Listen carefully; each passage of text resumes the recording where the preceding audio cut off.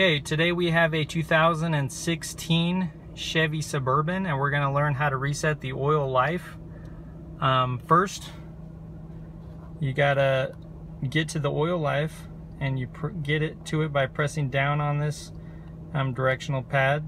Next, you click the right button, click enter to reset, scroll to the right, enter, and it'll reset to 100%.